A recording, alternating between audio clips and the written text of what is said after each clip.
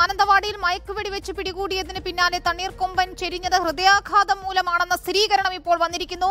ഏറ്റവും പ്രധാനപ്പെട്ട ബ്രേക്കിംഗ് വാർത്തയായി വന്നിരിക്കുന്നു. മയക്കുവെടിക്ക് ശേഷം പടക്കം പൊട്ടിച്ചതും ആൾക്കൂട്ടവും പടക്കത്തിന്റെ ശബ്ദവും ആനയെ പരിഭ്രാന്തനാക്കി എന്നാണ് വനം വകുപ്പ് ഉദ്യോഗസ്ഥർ പറയുന്നത്. പോസ്റ്റ്മോർട്ടം നടപടികൾ പൂർത്തിയായിരിക്കുന്നു. രാമപുരം ക്യാമ്പിൽ നിന്ന് ദീപക് മോഹൻ ചേരുന്നു. ആദ്യം വിവരങ്ങളുമായി ദീപക് ഇപ്പോൾ ദുരൂഹത നീങ്ങുകയാണോ? ഹൃദയാഘാതമാണ് ഇപ്പോൾ ആന ചെരിയുന്നതിന് കാരണമായെന്ന് സ്ഥിരീകരിക്കുന്ന റിപ്പോർട്ടുകളാണോ പുറത്തുവരുന്നത്. പോസ്റ്റ്മോർട്ടം നടപടികൾ പൂർത്തിയായോ?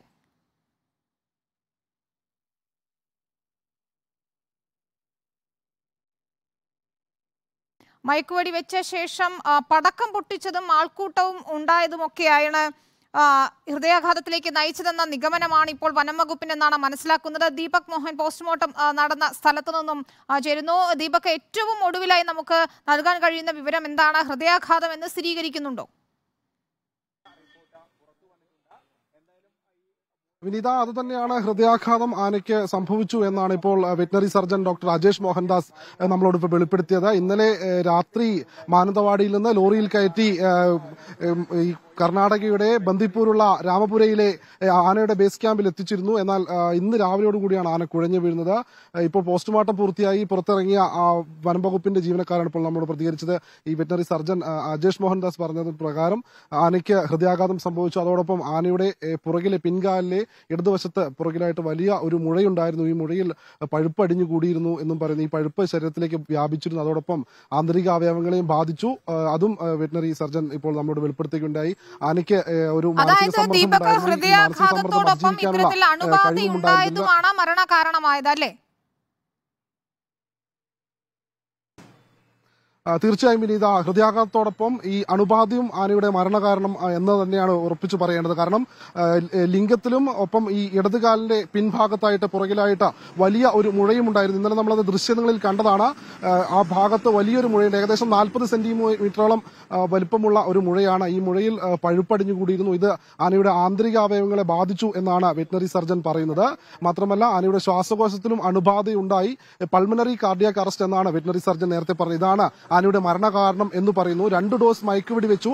അതിനുശേഷം ആണ് ഈ പടക്കവും മറ്റും പൊട്ടിച്ച് ആനയെ വനംവകുപ്പ് കുങ്കിയാനകളെ ഉപയോഗിച്ച് വാഹനത്തിലേക്ക് കയറ്റിയത്.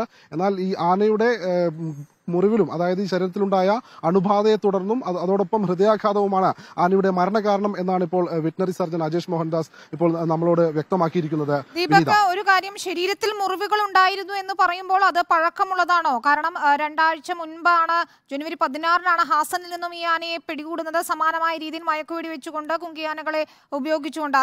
അപ്പോഴുണ്ടായിരുന്ന മുറിവുകളാകാമോ ഇത്തരത്തിൽ പഴുത്ത് അണുബാധ ഉണ്ടാകാൻ ഇടയാക്കിയത്? ഇത് സംബന്ധിച്ച് നമ്മ ഇത് സംബന്ധിച്ച് കാരണം ഈ ആനയെ രണ്ട് പ്രാവശ്യം ആന ഇത്തരത്തിലുള്ള ഒരു ട്രോമയിലൂടെ കടന്നു പോയിട്ടുണ്ട്. രണ്ട് പ്രാവശ്യവും ആനയെ മയക്കുവെടി വെച്ച് പിടികൂടുന്ന ഒരു അവസ്ഥയുണ്ടായി. അതുകൊണ്ട് തന്നെ അതിന്റെ ആ ഒരു മാനസിക സമ്മർദ്ദം ആനയ്ക്ക് താങ്ങാൻ കഴിഞ്ഞില്ല എന്നും പറയുന്നു. നേരത്തെ ഈ ആനയുടെ പിൻകാലിലുണ്ടായിരുന്ന മുറിവ് ഏകദേശം മാസങ്ങളോളം പഴക്കമുള്ള മുറിവാണ്. ഈ മുറിവിലെ അണുബാധ മൂലം ആന ആന അവശനായിരുന്നു എന്നും പറയുന്നു. അതുകൊണ്ടാണ് ആനയ്ക്കയുടെ മരണകാരണം എന്നാണ് പറയുന്നത്.